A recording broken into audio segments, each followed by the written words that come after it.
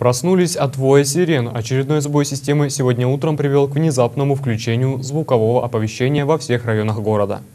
Сегодня утром в 7.10 по причине технического сбоя аппаратуры при проверке произошло включение сирен со звуковым оповещением. Многих горожан эта ситуация не на шутку взволновала. На самом деле каждый месяц, раз в месяц проводится система оповещения населения, руководящего состава и других структур. Проводит сигнал, он работает в учебном режиме без запуска сирен.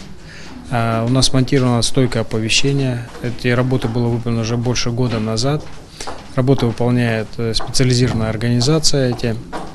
И после подачи сигнала произошел сбой программного обеспечения. Оперативно дежурный принял решение о перезагрузке программного обеспечения. В этот э, момент прошла команда на запуск сирен. Произошел сбой и система была запущена. Управление ГОЧС напоминает, что при звучании сирен подачи сигнала внимания всем необходимо включить проводное радио или телевизионные каналы местного вещания и прослушать информацию оперативного дежурного управления ГОЧС. В случае трансляции программ повседневного вещания не предпринимать никаких действий.